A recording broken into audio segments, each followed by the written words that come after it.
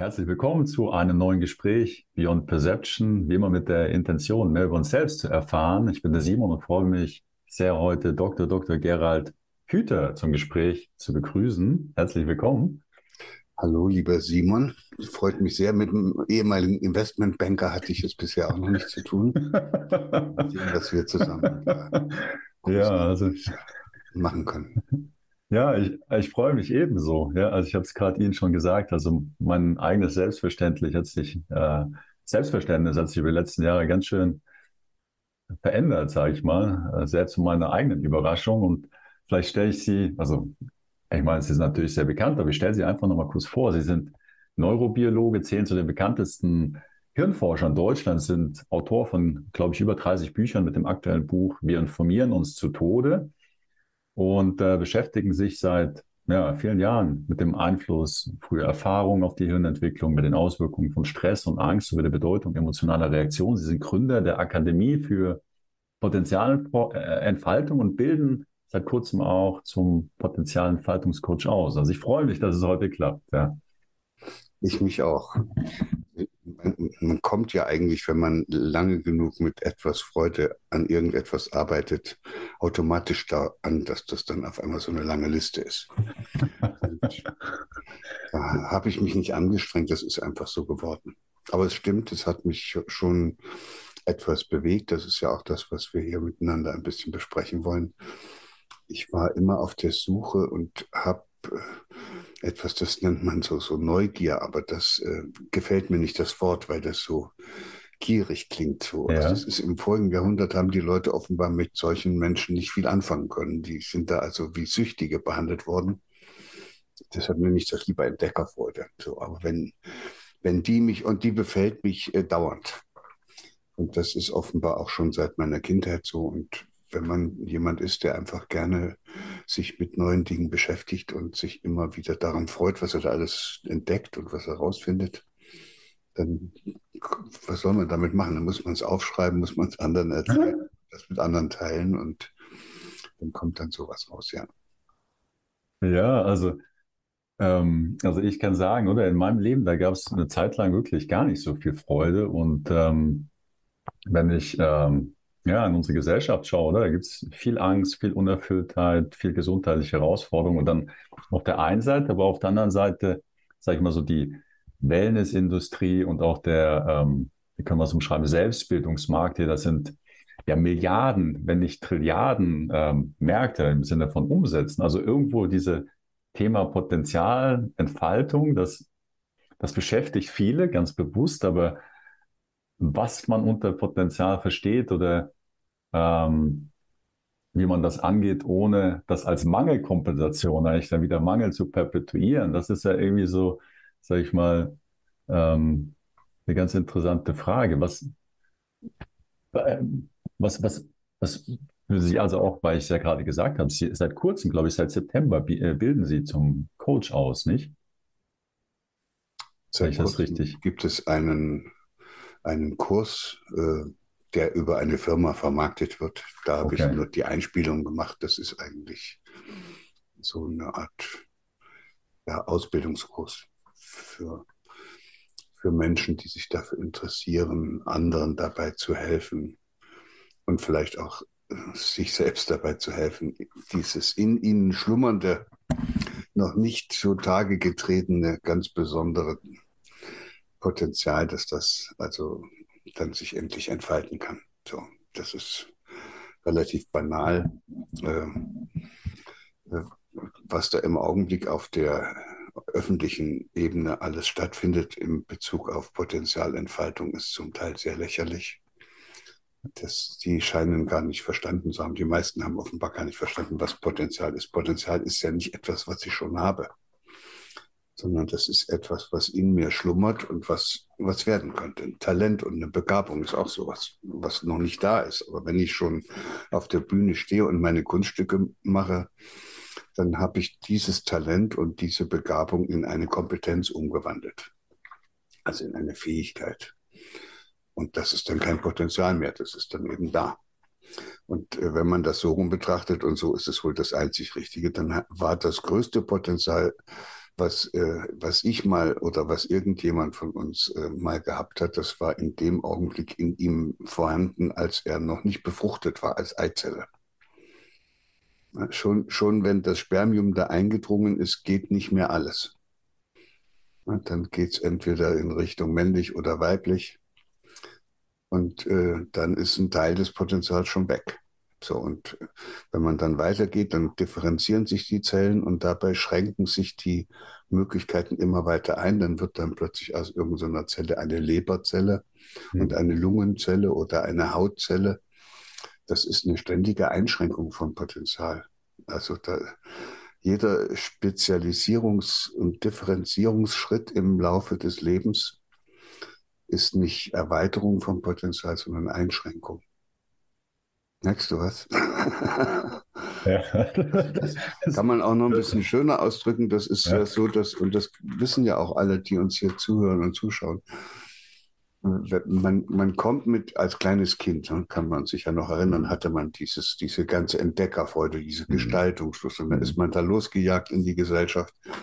Und wenn man nicht so viel Glück hatte wie ich, ich war damals noch in so einer Schulklasse, da gab es noch vier Klassen in einem Raum. Die wurden in Bankreihen hintereinander, erste, zweite, dritte, vierte. Und Musik hatten sie immer alle zusammen. Wie der Lehrer das hingekriegt hat, dass der die einzelnen Bankreihen getrennt unterrichtet hat, weiß ich auch nicht. Aber es ist ja doch was aus mir geworden. Also mhm. vielleicht kommt es gar nicht so sehr darauf an, wie perfekt man das macht. Hauptsache ist, dass man ein bisschen Freude daran hat.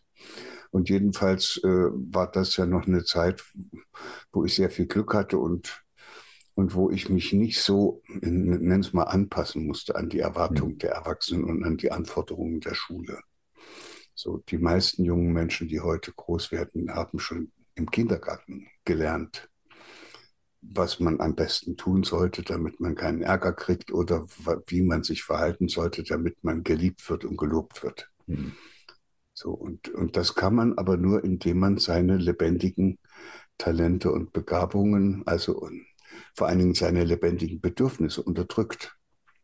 Ja, ich kann ja nicht immer so umherspringen, weil ich so ein, so ein lebendiges Bedürfnis nach Bewegung habe, wenn ich in der Schulbank sitzen muss den ganzen Tag.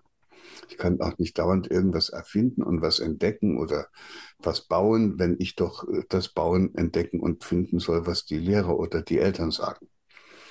So, und damit muss man gewissermaßen diese lebendigen Grundbedürfnisse die muss man dann wegdrücken.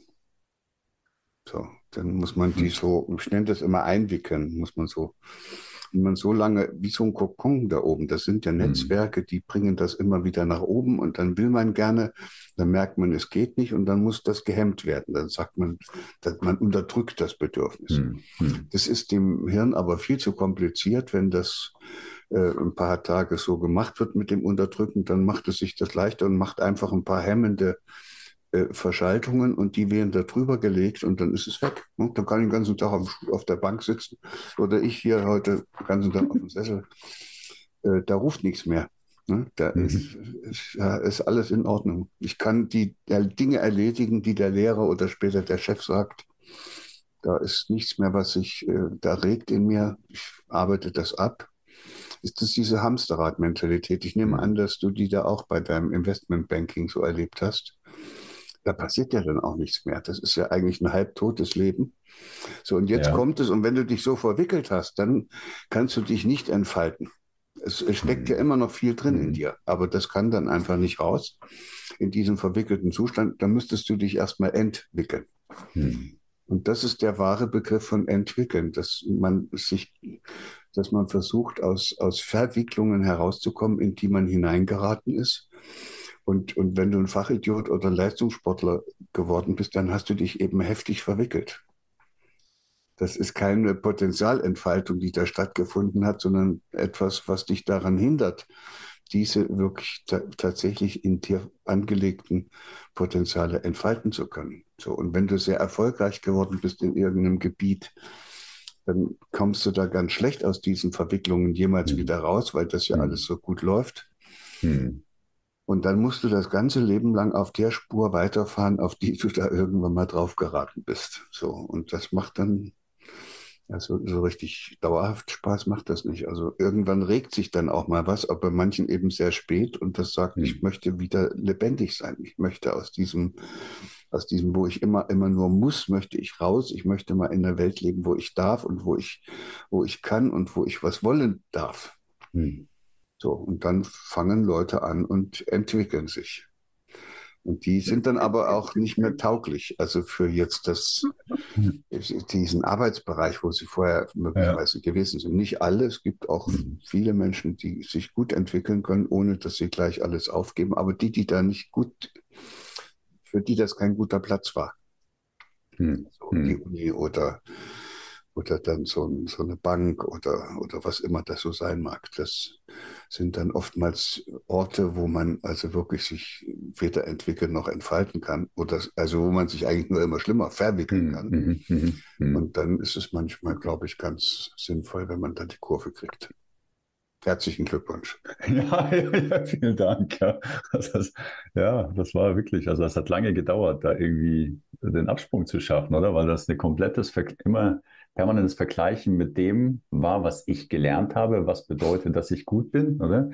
Ja, aber jetzt habe ich doch das und äh, jetzt, jetzt, jetzt bin ich doch da. Wenn ich das jetzt weggebe, was bleibt denn übrig? Da war überhaupt kein, sag ich mal, kein, kein inneres Gespür irgendwo mehr da. Das war so abgestumpft, sag ich mal.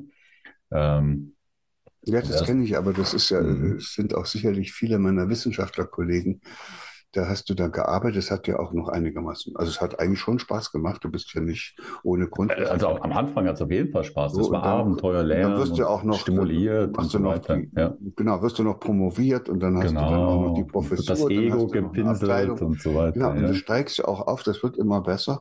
Mhm. Und da kommst du gar nicht auf die Idee, solange du noch auf diesem aufsteigenden Ast bist, kommst du gar nicht mhm. auf die Idee dich zu fragen, ob das überhaupt das war, was du mal gewollt mhm. hast. Mhm. Du bist da vielleicht irgendwie reingeschlittert und, und in dir hat mal früher was gerufen, das hieß, geh raus in die Natur oder mach Musik oder mach Kunst oder mach irgendwas anderes. Und dann hängst du da in dieser Mühle drin und, und wenn, wenn dann jemand kommt und sagt, hey, du, du hast dich da verrannt, ne? du hast dich verwickelt, dann wenn, wenn dann Menschen bis dahin so erfolgreich damit sind, dann empfinden, dann haben die sich damit so identifiziert mhm. mit dieser Verwicklung, mhm. dass die das so empfinden, als kommt jemand und will ihnen das Bein absägen. Die kämpfen dann richtig heftig, dass das alles richtig ist, was sie da machen. Und man solle mal nicht so einen Blödsinn erzählen, man hätte es ja doch zu gar nichts gebracht und was dann noch alles für Argumente mhm. kommen. Und äh, da sieht man, wie sehr Menschen dann durch das geprägt werden, was sie als erfolgreiche Lösungen im Laufe des Lebens gefunden haben. Das ist so mhm. eine dieser wunderbaren Erkenntnisse, die ich da aus der Neurobiologie rausgezogen habe. Mhm. mhm. Was im Hirn verankert wird, ist nicht das, sind nicht die Probleme, die wir im Laufe des Lebens haben, sondern die Lösungen, die wir finden.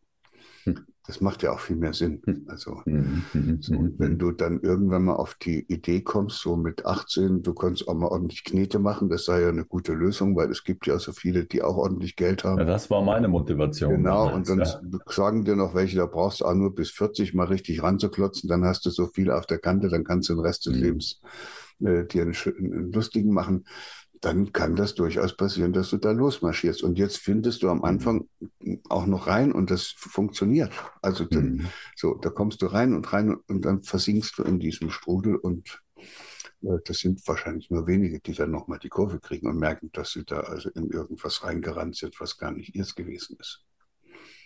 Und das sind die Lösungen. Ne? Und solange das eine Lösung ist, bleibt es drin. Und wenn es dann plötzlich in Frage gestellt wird, weil, weil nun auf einmal was anderes auftaucht, hm. was mit dem im Widerspruch steht, zum Beispiel dein wirkliches tiefes inneres Empfinden, deine wahrhaftigen, lebendigen Bedürfnisse, dann merkst du, das kollidiert mit dieser Lösung. Das ist dann nicht mehr lebbar. Und, und dann hm. können Menschen den Hebel umlegen. Das ist nicht, da muss man nicht äh, zu einem Training gehen oder dann noch ja. lange üben, sondern das ist eine Entscheidung dann irgendwann mal. Wenn es reif ist, glaube ich, entscheidet man sich, dass das jetzt genug war und dass man es anders versucht. Ja, also ich habe, als ich gekündigt habe, also ich hatte ja irgendwie gewisse ein bisschen Ersparnis und so weiter, aber ich lag wirklich im Bett und hat mein Körper hatte Panikattacken. Das war wie wenn Es hat sich angefühlt, wie wenn ich jetzt sterbe. Und ich saß da drin, aber das macht doch gar keinen Sinn, ich sterbe doch jetzt nicht. Aber es hat sich tatsächlich angefühlt, wenn ich sterbe. Und also was ich jetzt bei mir entdecke über die letzten Jahre, das ist wie so eigentlich den Kompass neu setzen, sage ich mal, von irgendwie so einer so einem Automatismus oder irgendwie eigentlich gesteuert sein von Angst, irgendwie Angst zu kompensieren und jetzt irgendwo ja, den Kompass zu setzen auf was mir am Anfang was Freude machen könnte. Das war eine Hypothese, da war noch keine Freude da. Aber jetzt eigentlich immer mehr, dass das irgendwo so natürlich meine Freude ist, aber gleichwohl, und da, da würde ich gerne hören, wie Sie das sehen, merke ich auch, dass da auch viel Angst dazwischen steht dann. Also gerade in meinem Weg jetzt. Also dass Angst nicht unbedingt ein Indikator dafür ist, ob das für mich stimmig ist, das zu tun. Ja, das, das ist ja alles auch so lange unterdrückt worden. Und, und dann muss man tatsächlich, wenn man sich aus diesen alten Mustern löst, würde das heißen, man fängt auch an, sich selbst vielleicht das erste Mal zu fragen, was einem hier überhaupt gut tut. Mhm. Und dann höre ich oft von Menschen, die so einen Weg zu gehen versuchen, dann sagen, ich weiß nicht, was mir gut tut, ich spüre nichts. Mhm. Und dann dann hilft das nichts, dann muss man mit denen versuchen oder die müssen in sich versuchen hineinzuspüren. Das geht dann nicht anders. Und dann weiß ich aber, dass da was kommt. Also wenn die, ja, man kann es auch ein bisschen erleichtern, indem man mal einfach irgendwas macht, dass man mal irgendwo hingeht, wo man mit anderen gemeinsam singen kann, wo man tanzen kann. Tango tanzen ist auch so eine gute Geschichte. Musizieren, also dann kommt das schon, dann spürt man plötzlich, hey, da ist ja doch was. Und dann muss man, und dann, ja, wenn man es dann erstmal wieder spürt, dann ist das ja so ein schönes Gefühl, das möchte man dann nicht wieder in die einwickeln. Das hm. soll dann bitte so bleiben. Und dann fängt man an, sich Gelegenheiten zu suchen, wo das immer häufiger kommt, dieses Gefühl. Dass man, ich nenne es mal einfach, dass man lebendig ist. Hm. So, und, und dann äh, wird es, äh, weil das ja dann als Lösung er, erlebt wird, es macht dich ja froh, mhm, mh, mh. Äh, wird das im Hirn verankert, immer fester und dann überlagert es das Alte. Mhm, mhm und dann mhm. gibt es eigentlich nur noch ab und zu vielleicht mal so einen Rückfall, wenn du wieder so einen alten Investmentbanker triffst, der dann mit seinem Ferrari da angefahren kommt. Kriegst du nochmal so einen kurzen Impuls, aber das ist dann, wird immer weniger. Ja, also äh, Sie haben ja äh, schreiben ja auch in Ihrem Selbstverständnis auf äh, Ihrer Akademie-Seite, oder, dass kein Mensch in der Lage ist, ähm, ich habe es mir aufgeschrieben, die in ihm angelegten Potenziale allein, ohne andere Menschen zu entfalten. Also, ja, das ist so eine. Wir haben ja viele Ideologien in unserer Gesellschaft. Also ja. die, die sind dann auch noch wissenschaftlich verbrämt, sodass man gar ja. nicht weiß, ob es sich um eine Ideologie oder tatsächlich um eine wissenschaftliche Erkenntnis ja. handelt. Also zum Beispiel diese Ideologie ohne, ohne Wettbewerb keine Leistung oder mhm. ohne Druck mhm. kein Ergebnis. Das kann man so sehen, ja. Aber, aber das, ob das stimmt? Wenn man natürlich, wenn ich jetzt äh, jemanden antreibe mit der Peitsche, da läuft er natürlich schneller. Ja. Aber ich, aber ich kriege nie raus, wie schnell der gelaufen wäre, wenn der gerne gelaufen wäre. Ja, ja. Also dieses Beispiel mit dem kleinen Jungen, der da so einen Turm baut, der will doch keinen mittelhohen Turm bauen. Immer den höchsten. Mhm. So, das heißt, diese Leistungsbereitschaft und immer das am besten und, und perfekt machen zu wollen, die ist uns sozusagen innewohnend. Da muss man nicht drücken und schieben. Und wenn man jetzt auf dem kleinen Jungen mit seinem Turm drückt und schiebt, dann verliert er die Lust am Turmbauen. Mhm. Und das ist einfach eine doofe Idee. Also gilt ja für viele andere Bereiche auch. Und, und das ist einfach eine Ideologie, die wir da mal irgendwann eingeführt haben. Ohne Druck geht es nicht. Und dann kommt dann gleich die nächste Ideologie. Ohne Wettbewerb geht es auch nicht. Der Wettbewerb macht dann den Druck.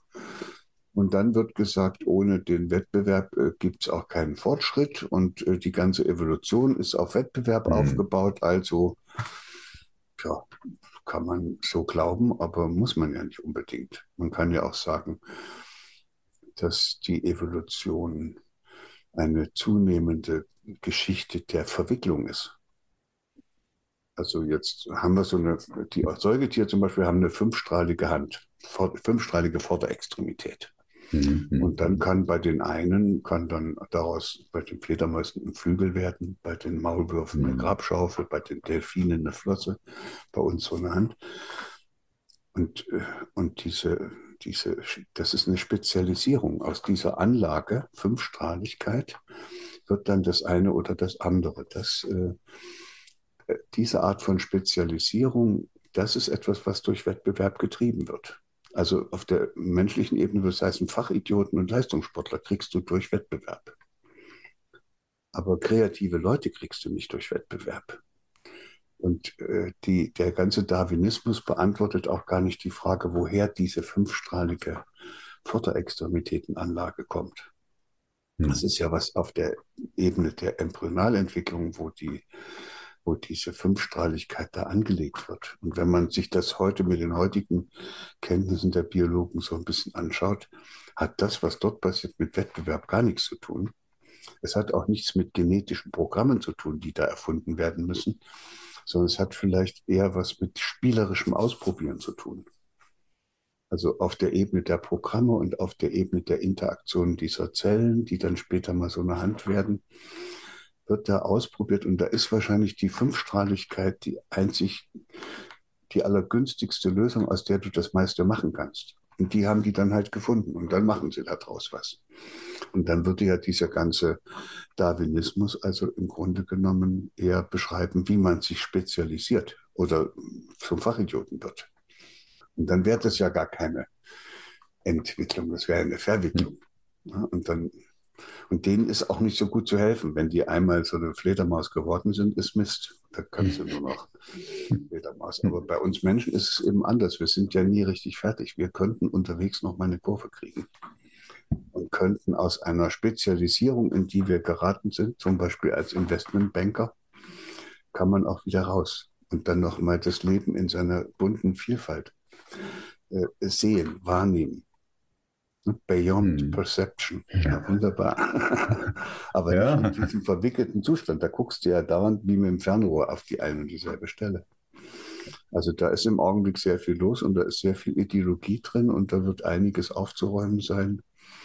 Aber es ist ja so, dass jedes gesellschaftliche System und jede Kultur so bestimmte Glaubenssätze hat, hm. die sie braucht, damit sie sich selbst stabilisieren kann. Und das Interessanteste ist eigentlich immer diese Zeit, wo diese Glaubenssätze ins Wanken kommen.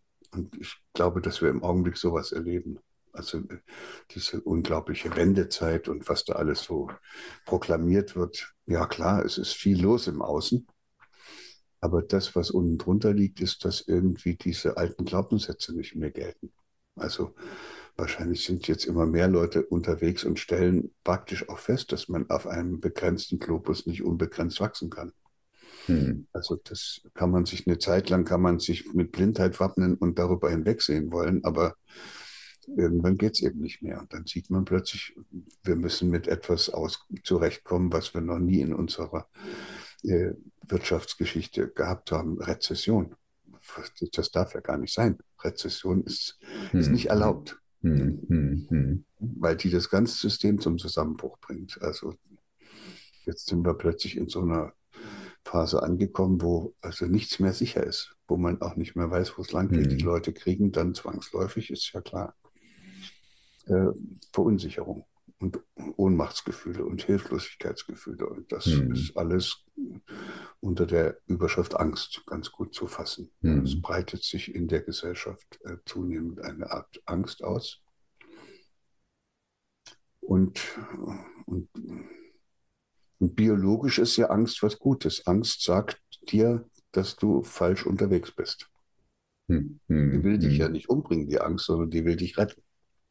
Hm. Und damit du nicht noch diesen. Abgrund auch noch runterspringst. Dann kommt die Angst und dann geht, trittst du zurück und machst die Kurve.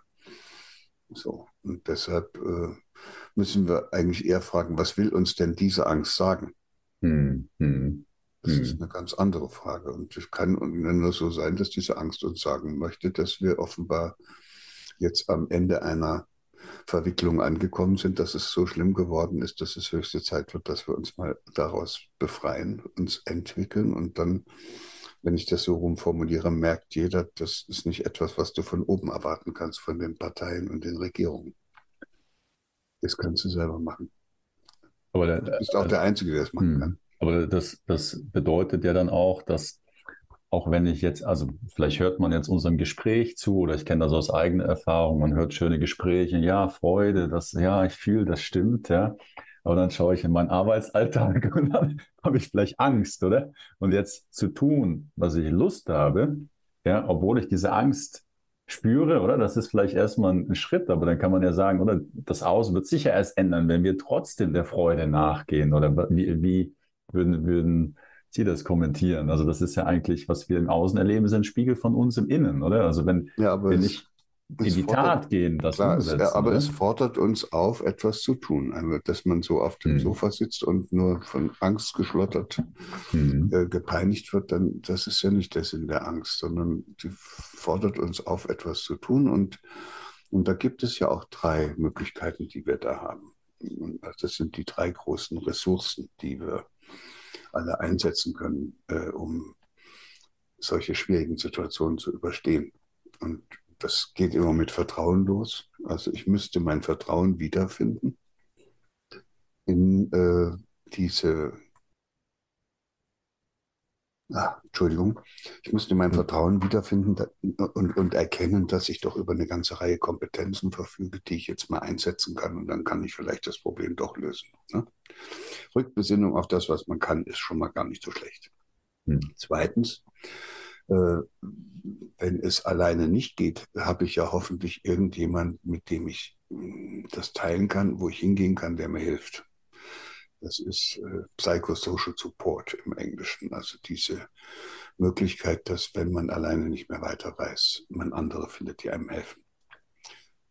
Äh, das ist ziemlich erodiert in einer Welt, in der sozusagen dieser Wettbewerb so in den Mittelpunkt gestellt wird und die ganzen sozialen Beziehungen nur noch davon bestimmt werden, was man von dem anderen kriegen kann und wie man hm. den über den Tisch ziehen kann. Hm. Das mit der eigenen Kompetenz ist auch ziemlich erodiert, weil es viel zu viele Leute gibt, an die man sich wenden kann für Geld, damit die das tun. Hm. Also es gibt leider sehr viele Menschen, die sind nicht mehr in der Lage, einen Abfluss, wenn er verstopft ist, wieder zu frei hm. zu machen oder einen Nagel in die Wand zu hauen. Da brauchen immer einen Dienstleister. Und äh, das gibt einem nicht das Gefühl, dass man sehr kompetent ist, wenn man für alles einen rufen muss. Sodass also dieses Vertrauen in die eigenen Fähigkeiten nicht allzu stark ist. Aber mit dem Mund natürlich schon, aber wenn es dann ernst wird, mhm. wissen sie nicht mehr, wie es geht sind viele Menschen regelrecht lebensuntüchtig geworden vor lauter Dienstleistungen, die sie da in Anspruch nehmen. Es geht uns ja auch so, ich, viele Leute können ohne dieses Gerät ja auch nicht mehr auskommen. Ja. So, das äh, ist das eine. Das zweite Vertrauen in das Gemeinsame, das ist auch nicht so groß. Und das dritte, die große Vertrauensressource ganz hinten, die ist genauso kaputt. Äh, das ist das Vertrauen, dass es wieder gut wird. Ich sage es mal jetzt so ganz allgemein. Das hat was Spirituelles, das ist auch das, was die Religionen immer versprochen haben. Und es ist aber auch das, was die Märchenbücher vermitteln, wenn wir unseren Kindern diese alten Hausmärchen vorlesen. Das ist immer dieselbe Geschichte, ist am Anfang als okay, dann wird es furchtbar. Und dann passiert ein Bim oder irgendein Zauber oder Wunder und dann wird es wieder gut. Und wenn sie nicht gestorben sind, leben sie heute noch. Das ist, mhm. das ist eine, eine Vertrauensgeschichte. Also da mhm. wird da wird eine Geschichte erzählt, die in dem Kind dieses Bewusstsein stärkt, dass es wohl schwierige Phasen gibt, aber dass es auch wieder gut wird. Gut. Das haben wir auch nicht mehr. Wir wissen nicht, ob es wieder gut wird. Wir, so, und deshalb haben so viele Leute so viel Angst und deshalb sind die so anfällig für das, was da an Meldungen durch die Medien äh, sie überflutet. Und dann äh, rennen sie umher wie die aufgescheuchten Hühner und wissen nicht mehr, wo es lang geht. Und wenn es ganz schlimm kommt, dann rufen sie nach einem Anführer, der ihnen zeigt, wo es mhm. lang geht. Und davor habe ich ehrlich gesagt Angst. Und deshalb bemühe ich mit dem, was ich tue, mich immer sehr darum, dass Menschen sich sozusagen aus ihrer selbstverschuldeten mhm. Unmündigkeit befreien. Und das ist eine, das ist ja Kant. Also, mhm.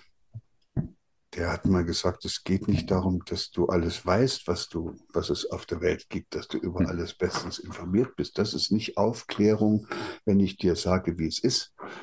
Aufklärung ist, dass du den Mut aufbringst, dich deines Verstandes auch wirklich zu bedienen.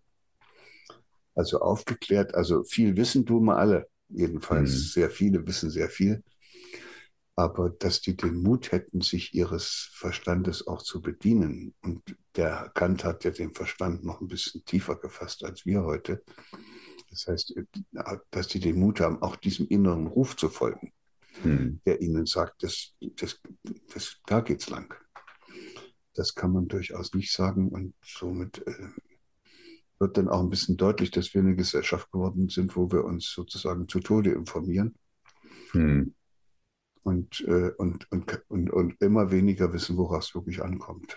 Diese Flut von Informationen, die uns da alles äh, tagtäglich erreicht, ist bestenfalls geeignet, dass äh, wir am Ende gar nicht mehr wissen, was wichtig und was unwichtig ist. Weil immer wieder was Neues kommt, alles ist emotional aufgeladen mit mhm. wilden Bildern und entsprechenden Kommentaren, sodass, wenn man sich wirklich darum kümmert, ist man verloren. Also das ist eigentlich wirklich eine riesige Gefahr. Weil man braucht ja, also alle Lebewesen, auch jede Zelle und jede Pflanze und jedes Tier, die brauchen doch die Möglichkeit, wenn etwas Bedrohliches geschieht oder wenn irgendetwas sich in ihrer Welt ändert, das anderen mitzuteilen. Hm. Im Hirn werden Botenstoffe ausgeschüttet von einer, mit der eine Nervenzelle der anderen irgendwas sagt. Und draußen im Wald werden Duftstoffe von den Blättern ausgeschüttet, wo ein Baum dem anderen was sagt. Wenn das auf einmal so, ein, so, ein, so eine Flut von lauter Botenstoffen oder Duftstoffen oder was auch immer oder bei uns eben von lauter Worten und Meldungen wird, da weiß man nicht mehr, was, kriegt man das Wichtige nicht mehr raus. Und dann wird es schwierig, dann wird es gefährlich für eine Gesellschaft. Weil dann können sich die Menschen ja nichts mehr mitteilen oder nur noch Unsinn. Mhm. Dann ist es nur noch ja, Geschwätz. Und also das hat man jetzt ja über die letzten zwei Jahre ganz besonders erfahren, oder? Da ist dann auch die Tendenz, irgendwo Gräben zu öffnen, sage ich mal, zwischen Menschen oder Menschengruppen vielleicht sogar. Und vielleicht die eigene Angst, sage ich mal, als Feindbild auf jemand anders zu projizieren oder sich selbst die Schuld zu geben, sich, sich als, sag ich mal, Versager oder schuldig für das eigene, sag ich mal, paralysiert sein zu, zu finden. Jetzt haben Sie aber noch was Schönes geschrieben, oder? Also auch eine der, ähm, das ist Selbstverständnis, oder? In dem Sinne haben Sie geschrieben, alle Menschen versuchen, ihr Leben und ihr Zusammenleben mit anderen so zu gestalten, dass sie glücklich sind, oder? Das schwingt ja wirklich ein, dass jeder im Kern irgendwo immer versucht, das Beste zu tun. Ja, das hatte ich vorhin noch gar nicht zu Ende gebracht. Da wollte ich ja mit dem Darwinismus und dem Wettbewerb eigentlich mhm. darauf hinaus, dass wir soziale Wesen sind und dass wir ohne andere gar nicht leben können und dass das auch eine Ideologie ist, dass wir als Einzelkämpfer umherlaufen. Mhm. mhm. Und, und alles, was, was ich weiß oder was, äh, was Sie wissen und können, das haben, Sie ja von anderen, das haben wir von anderen Leuten. Also wir können noch nicht mal auf mhm. zwei Beinen laufen, wenn uns nicht jemand gezeigt hätte, wie das geht. Wir können nicht reden. Also es ist eigentlich, es gibt uns eigentlich als Menschen gar nicht im Singular. Wir sind soziale Wesen und müssen versuchen, dieses Zusammenleben irgendwo hinzukriegen. Und da sind eben die Gemeinschaften, die wir dabei herausgebildet haben, nicht immer günstig. Hm. So, und da müsste man eigentlich versuchen, also nicht immer günstig, heißt es sind zum Teil Zwangsgemeinschaften. Also früher waren das oft Zwangsgemeinschaften, weil die, die konnten gar nicht anders. Die, da war der Besitz und ihr Bauernhof und so, das war, hing alles da dran, da konnte man, konnte man nicht diese Gemeinschaft in Frage stellen. Die sind zwanghaft zusammengeblieben. Auch die Ehen haben damals zwanghaft gehalten, obwohl da im Bett schon lange nichts mehr lief. Und dann gibt es noch Angstgemeinschaften, die haben wir jetzt während der Corona-Phase schön gesehen, wo die sich mhm. alle zusammenschließen, Zähne schlotternd und sich darüber äh, einigen, dass es also nur mit Masken geht oder mit Impfen, die eine Sorte und die anderen schließen sich zusammen und einigen sich darauf, dass das wohl irgendwas Satanisches gewesen sein muss, mm. das das in die mm. Welt gebracht hat und dass es da irgendwelche dunklen Mächte gibt, die das gemacht haben. Dann sitzen die in der einen Ecke, die anderen in der anderen Ecke und dann kann man sich auch eigentlich gar nicht mehr austauschen. Und das sind alles ungünstige Gemeinschaften. Und was wir bräuchten, sind eben Gemeinschaften, in denen sich jeder Einzelne so aufgehoben und geborgen und verbunden fühlt, dass er dann in dieser Gemeinschaft auch das Gefühl hat, dass er noch nie so sehr über sich hinausgewachsen ist wie dort. Weil die sich alle auch gegenseitig in solchen, das sind dann potenzielle Entfaltungsgemeinschaften, das sind dann Gemeinschaften, wo jeder sich darum bemüht, dass der andere ins Wachsen kommt. Also eine, auch in der Partnerschaft, wenn das nur darum geht, dass man gemeinsam auf dem Sofa sitzt und eine schöne Zeit hat, das wird, glaube ich, auf Dauer nichts. Mhm. Aber wenn man anfängt, dann auch noch da sich zu fragen, was der andere, was die Partnerin oder der Partner braucht, damit der in seine Kraft kommt und über sich hinauswachsen kann. Das wäre dann ein unbedingtes Interesse am Wachstum des anderen. Das würde ich sagen, das verdient so etwas wie die, die Bezeichnung Liebe. Und da geht es dann. Und so solche Gemeinschaften haben wir eben oftmals noch nicht mal auf der Ebene von Partnerschaften und noch seltener im Bereich von anderen Gemeinschaften, obwohl ich den eben auch merke, dass wir im Augenblick dabei sind, diese alten Lebensformen, die wir so kannten, in Frage zu stellen, dass es immer mehr junge Leute gibt, die dann nach alternativen Lebensformen suchen. Und das aber nicht so chaotisch, wie wir das als 68er damals gemacht mhm. haben, sondern mhm. da ist jetzt schon ist auch viel Erfahrung eingeflossen und die wissen, dass das nicht so ganz einfach ist und gehen da zum Teil also auch sehr sorgfältig und achtsam und bewusst damit um. Kann sein, dass das dann vielleicht in dem einen oder anderen Fall auch klappt. Es ist ja schwer, weil keiner hat das gelernt. Wir kommen alle nicht aus hm. solchen Gemeinschaften. Hm. Also schon, schon hier in der Nähe gibt es eine Gemeinschaft, da geben die alle ihr Geld ab. Hm. Auch die Erbschaft, falls sie mal eine kriegen. Also so, ich merkt man, wie die, wie man, da, wenn man sich das dort anhört und guckt, das ist schön. Die haben eine gemeinsame Kasse, die haben einen ganzen Fuhrpark von Elektroautos, mit denen die fahren. Die haben auch wirklich einen Haufen Geld. Ist für alles gesorgt. Ich glaube, die brauchen 180 Euro pro Person im Monat. Hm. Aber äh, ja, es ist schon eine gewisse Überwindung, wenn man sich vorstellt, dass man sein ganzes Gespartes mhm. dort reinwirft in den großen Topf und dann nicht, muss man sich darauf einlassen können. Da merkt man plötzlich, wie man klebt, wie man festklebt an den Besitztümern. Mhm. Und das ist die häufigste Form von Gemeinschaft, die wir im Augenblick haben, eine Besitzstandwahrungsgemeinschaft. Also ich hatte ähm, vor zwei Wochen ein Gespräch über das Matriarchat. Das war ganz interessant mit Frau Dr. Heide Göttner Abendroth. Und sie hat eben das umschrieben, oder? Und das war einfach so fern, also sich das überhaupt erstmal vorstellen zu können, weil man, aber das eigentlich ganz anders ist, wie man das halt hier so als normal erfahren hat.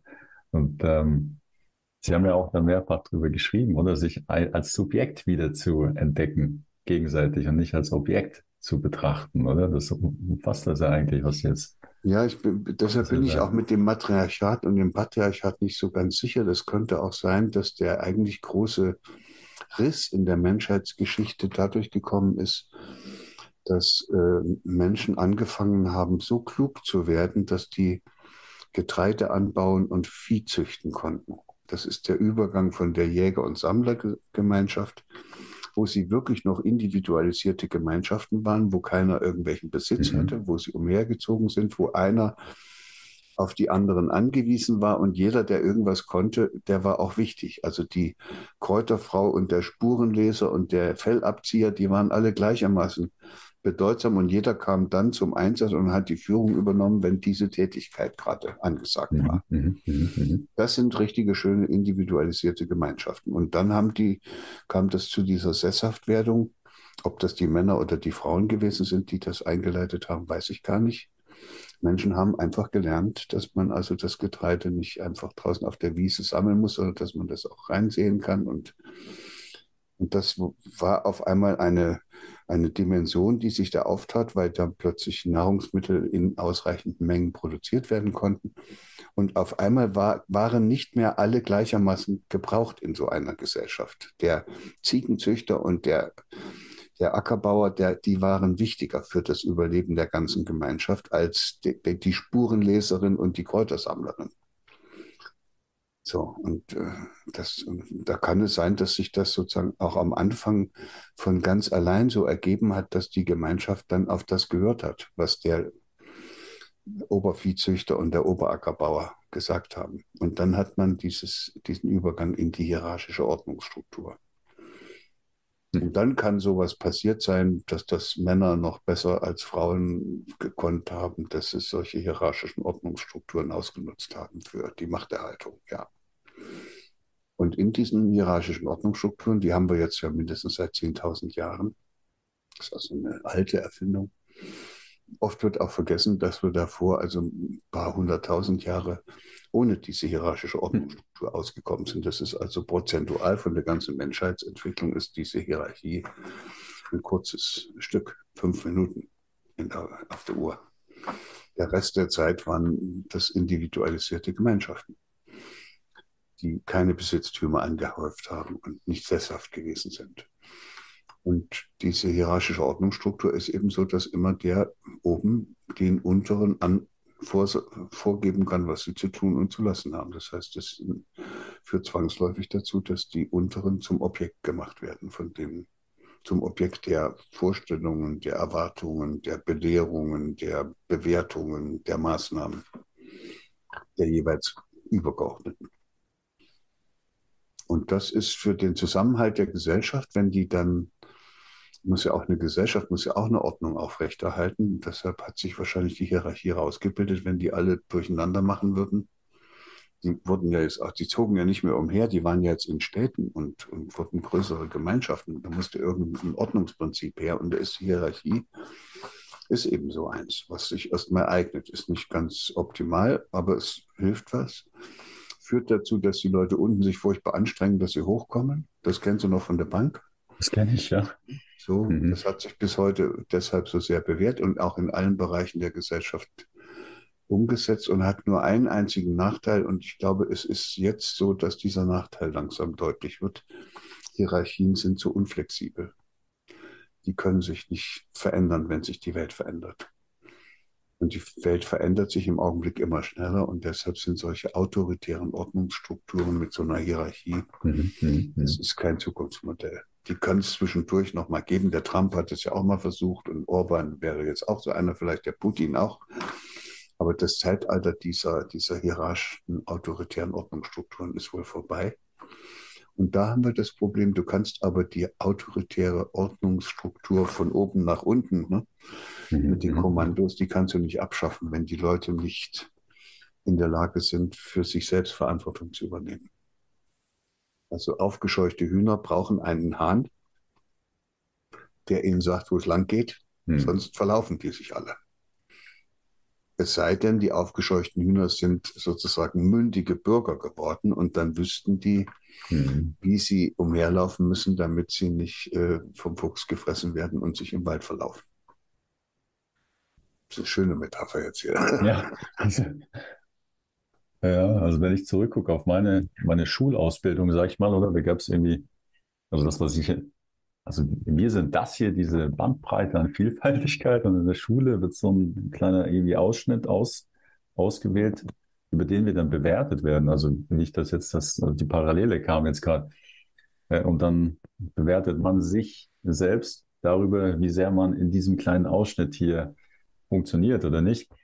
Ähm, also was für mich sehr wertvoll war zu hören, dass irgendwo in jedem von uns eine, sag ich mal, Talent oder eine Bestimmung also wie auch immer man das umschreiben möchte, schlummert. Und nur das mal zu hören, das hat bei mir begonnen, irgendwie den Fokus wieder ein bisschen zu öffnen. Würdes, würden Sie das auch so unterschreiben, dass irgendwo, also jeder spezifische Gaben, Talente, Bestimmungen in dem Sinne hat, die in einem schlummert? Liest du? Also, ja, natürlich. Ja. ja.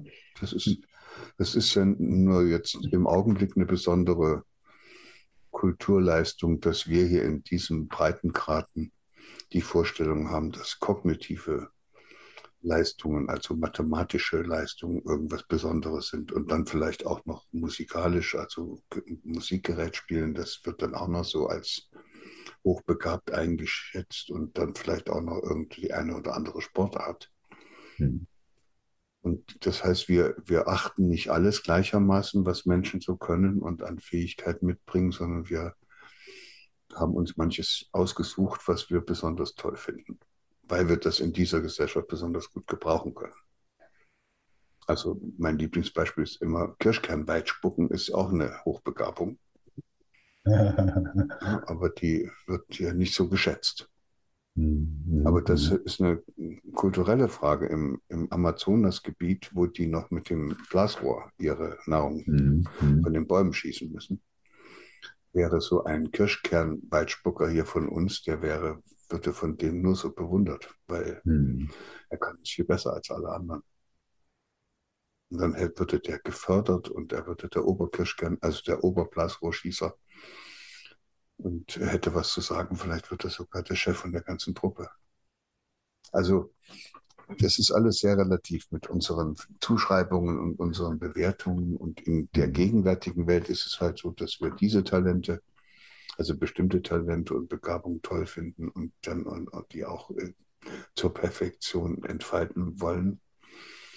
Und in anderen Gesellschaften ist es anders.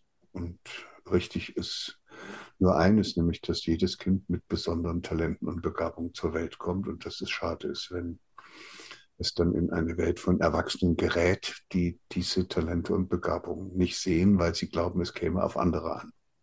Mhm. Also der Kirschkernweitspucker typischerweise wird in unserer Welt in der Schule und von den Eltern wohl kaum erkannt mhm. mit seiner Begabung. Hm. Und also ergibt es denn ein Ziel für die Potenzialentfaltung? Ja, es gibt eine, das geht, führt uns jetzt in ganz tiefe Gefilde. Es gibt so ein universelles Prinzip das kennen auch die Physiker und die sagen, es geht bei der, bei der Expansion des Universums und, und was da alles so passiert, darum, die Möglichkeitsräume immer stärker zu erweitern. Hm. Möglichkeitsräume. Also das heißt, im, der Möglichkeitsraum von ist viel größer, wenn, wenn Partikel miteinander interagieren können. Wenn die mhm. noch so energiegeladen sind, dass die immer noch wegfliegen, können sie nicht interagieren. Und deshalb muss erstmal eine ganze Menge Energie raus, im, seit dem Urknall, dass da plötzlich immer mehr interagieren kann. Und am Ende wird diese Interaktion so fein, dass da sogar Lebewesen entstehen und, und die haben wieder einen ganz anderen Möglichkeitsraum Raum als ein Stein. So, und, und, und äh, jetzt ein lernfähiges Lebewesen hat noch einen anderen Leben, äh, Möglichkeitsraum als eins, was nichts lernen kann. Und so kann man sich das vorstellen, dass Potenzialentfaltung eigentlich nichts weiter ist als Ausdruck dieses universellen Prinzips der ständigen Erweiterung von Möglichkeitsräumen. Und jetzt wird auf einmal klar, was ich vorhin gesagt habe, wo der eine oder andere wahrscheinlich sich noch gesagt hat, was redet er denn da für ein Schwachsinn? Spezialisierung ist keine Erweiterung von Möglichkeitsräumen. Hm. Ne, das ist ja eine Einengung. Hm. Also, also Sie haben vorher gesagt, der, der Leistungssportler und der, ja, der Leistungssportler und der Fachidiot, die sind sozusagen eng. Hm. So. Hm. Und, und jetzt müssen wir als Menschen aber sagen, jetzt fängt es erst an, richtig interessant zu werden, müssen wir sagen, wir müssen uns aber solche Spezialisten leisten können. Und dann heißt die richtige Antwort heißt eigentlich, ja, wenn wir denn dafür sorgen könnten, dass diese Spezialisten und diese Leistungssportler alle miteinander verbunden würden, dann ging es. Und dann, das ist, das wäre dann wie ein Organismus. Dann habe ich eine Leberzelle, das ist ja auch ein Spezialist, mhm, mhm aber diese mhm. Leberzelle bildet sich nicht ein, dass sie besser ist als die Lungenzelle. Mhm, und die dürfen beide ihren Job machen und dürfen ihre Erfüllung darin finden, in dem, was sie so ganz besonders gut können. Aber sie dürfen nicht vergessen, wofür sie unterwegs sind. Nämlich, dass ich hier als Ganzes noch ein bisschen unterwegs sein kann. Hm. So, und da haben wir einfach eine Gesellschaft geschaffen, in der wir lauter Spezialisten haben, aber die arbeiten nicht zusammen. Mhm. Mhm. Weil diese Ideologie äh, so ausgebreitet und tief verankert ist, dass eben der Wettbewerb notwendig ist und dass man die anderen wegstoßen muss. Und das ist, dann, dann wird es schwierig. Und äh, vielleicht noch diese Frage, also äh, könnte man das dann so konzeptual, konzeptualisieren, als das das Ziel in dem Sinne der Weg ist, also eine Haltung dann entsteht aus Lebendigkeit, haben Sie vorher gesagt, oder vielleicht der Freude oder Begeisterung, dass das in dem Sinne das Ziel ja, ja dann, ist. Ja, dann, dann, würde man nicht mehr fragen, was will ich erreichen, sondern dann würde man sagen, wie will ich unterwegs sein? Hm. Also hm. will ich ein liebevoller Mensch sein oder einer, der auf seine Würde achtet oder einer, der rücksichtslos und würdelos und lieblos durch die Gegend latscht. Das sind Entscheidungen, die man für sich selbst treffen kann und, und die geben seinem eigenen Dasein dann ja auch eine gewisse Orientierung. Also man kann sich auch fragen, wofür man eigentlich sein Dasein so hergeben möchte, wofür man sich einsetzen möchte. Muss man ja, der eine macht es fürs Investmentbanking und damit fürs Geld verdienen und dann offenbar für sich. Und dann gibt es aber auch welche, die setzen sich dafür ein, dass die, die, die, die Vielfalt an Lebewesen erhalten bleibt und die mhm. Bienen nicht sterben.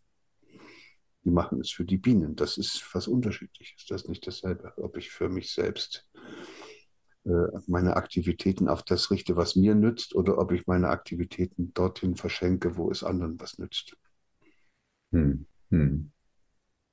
Und dann aus diesem Selbstverständnis stellen sich dann noch die Fragen gar nicht mehr, oder? Also, ja, das sind viele. Weil das selbstverständlich wird, oder? Also wird es auf einmal einfach und auch übersichtlich und dann kann man diesen Weg gehen, ohne dass man sich da ständig immer wieder neu in Frage stellen muss. Und manche machen, machen das ja auch so. Also das sind, die mhm. erkennt man aber schon von Weitem. Das sind eben auch Menschen, die, die wissen, was sie wollen, die brauchen nicht mehr so viel die sind auch nicht mehr verführbar. Da kann einer kommen und kann sagen, bei mir kannst du ganz viel Geld verdienen. Das, das interessiert die nicht, weil die sagen, hilft es den Bienen oder nicht? Hm, hm, hm. Dann ist es, haben sie so ein, eine Art Kompass, mit dem sie im Leben unterwegs sind und, und das macht sie nicht mehr manipulierbar. Weil das ist, das Problem ist, wir hatten früher mal Gesellschaften, da ist Herrschaft gesichert worden durch Unterdrückung. Hm. Gibt es heute auch noch. Also ist noch nicht weg, das Modell, aber es hat sich doch zunehmend und vor allen Dingen mit der Ausbreitung der Medienindustrie ein anderes Modell durchgesetzt, um Herrschaft zu sichern, und das ist Verführung. Hm. Verführung ist ziemlich furchtbar, weil der Unterdrücker kann sich ja noch als Subjekt erleben und kann was tun. Der kann sich wehren, der kann sich mit anderen zusammenschließen, der kann eine Partei gründen oder keine Ahnung. Aber der ist noch ein, ein, ein, ein Subjekt, der, der sich noch als Subjekt erlebt. Der Verführte, äh, der, der weiß ja gar nicht, dass er verführt ist. Der ist ja seinem Verführer am Ende noch dankbar und schützt ihn noch. Also, also die Hypnose eigentlich. Ja, nee, das ist hier, wir reden über, über Facebook und Herrn Zuckerberg und Konsorten. Hm die also ganz bewusst die Leute sozusagen verführen. Ja. Wir reden über Werbestrategen, die uns alles Mögliche einreden. Wir reden über Meinungsbildner, die äh, dafür sorgen, dass die Leute hier alle was ganz Bestimmtes glauben und von was ganz Bestimmtem überzeugt sind. Das ist alles Verführung. Das ist hochgefährlich. Da weiß ich gar nicht, ob ich mich darüber freuen kann, dass das jetzt nicht mehr mit Unterdrückung passiert. Bei Unterdrückung hätte man sich ja noch gewehrt. Hm. Also es ist Unterdrückung in dem Sinne, man ist sich dessen bewusst, aber hier, das passiert komplett unbewusst. Hier hm. hängst du drin, ja.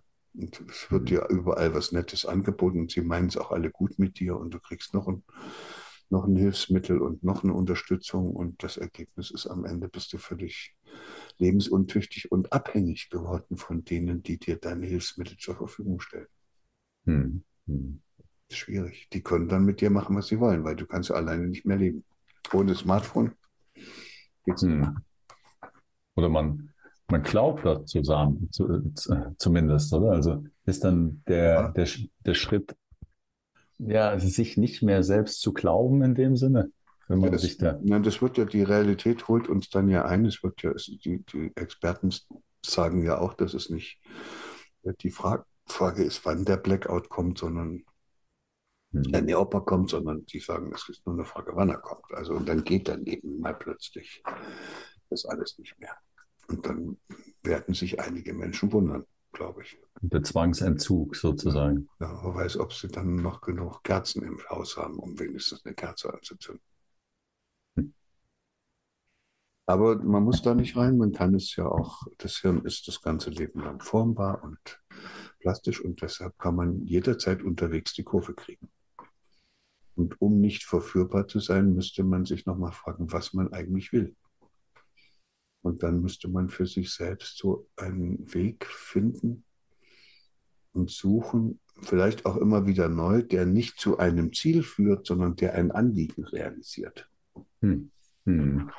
Und dann kann man sich jeden Abend vor den Spiegel stellen, kann sich fragen, ob man diesem Anliegen, also ein würdevoller Mensch zu sein oder ein liebevoller oder friedfertiger oder was weiß ich, ob man dem durch das, was man an diesem Tag gemacht hat, ein Stück näher gekommen ist. So. Und wenn es so ist, sagt man toll. Und wenn es nicht so ist, dann sagt man, okay, dann gebe ich mir morgen noch ein bisschen mehr Mühe. Hm. Hm. Aber das hm. geht in alles, das bleibt in diese, in diese eine Richtung ausgerichtet. Da hm. ist nicht irgendjemand, der da kommen kann und einen für irgendwas überreden kann, was in die andere Richtung geht. Hm. In diesem Sinne. Ja, Herr, Herr Hüter, ja, also ganz herzlichen Dank für Ihre Zeit und äh, das, das Gespräch. Ja. Ich weiß nicht, ob Sie noch ein letztes Wort haben, das Sie uns teilen möchten.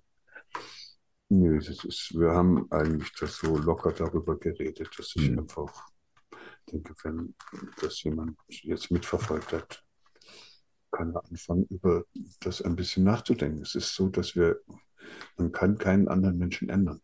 Das, mhm. was wir hier machen, sind Einladungen und Ermutigungen und Inspirationen, dass man sich selbst nochmal fragt, ob das Leben, was man da führt, wirklich das ist, was man führen wollte.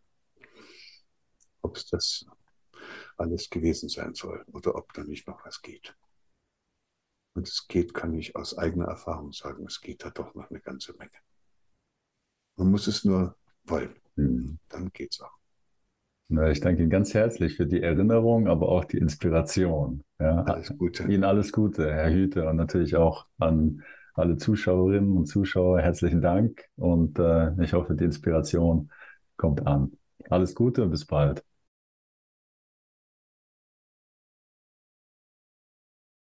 Was ist mein Potenzial? Was steckt wirklich in mir? Ist es möglich, freudvoll, fröhlich, erfüllt zu sein und das auszudrücken, was ich wirklich bin? Habe ich überhaupt einzigartige Gaben und Talente? Falls ja, wie finde ich die? Und wenn ich sie finde, wie bringe ich die hier zum Leben? Ja, ist es überhaupt möglich, sein Lebensunterhalt davon zu bestreiten, was ich bin und liebe? Ja, das sind einige der Fragen, die mich seit über einem Jahrzehnt antreiben ich möchte keine endgültige Antwort geben, aber ich habe meine, auf meiner Suche wertvolle Prinzipien gelernt, die mir geholfen haben, mich selbst wiederzufinden und das, was ich wirklich bin, hier Stück für Stück in das Leben zu bringen, unabhängig von Erwartungen, unabhängig von Konditionierung, unabhängig von limitierenden und selbstbegrenzenden Gedanken und Mustern. Und jetzt möchte ich die Brücke sein, du siehst sie hier hinten, und diese Prinzipien an dich weitergeben, sodass ich dich eben nicht nur mit meinen Worten daran erinnere, sondern die ermögliche, das selbst zu überprüfen, zu entdecken, zu erfahren. Also tatsächliche Selbstentdeckung, Selbstbefähigung, dass du ein wundervoll kreatives Wesen bist, ein Genie im wahrsten Sinne des Wortes und das Potenzial, die Möglichkeit hast, genau das zu entfalten und dich und deine Kreativität freizusetzen. Das ist meine Mission sozusagen jetzt und ganz wichtig, glaub nicht meinen Worten, aber auch nicht deinen möglicherweise skeptischen Gedanken, wenn du mir jetzt zuhörst, sondern überzeug dich selbst, probier es aus und mach bei unserem nächsten Seminar strukturelle Kreativität mit. Mehr Informationen hier. Die Teilnahme ist kostenlos. Ja, ich freue mich, deine Kreativität zusammen freizusetzen.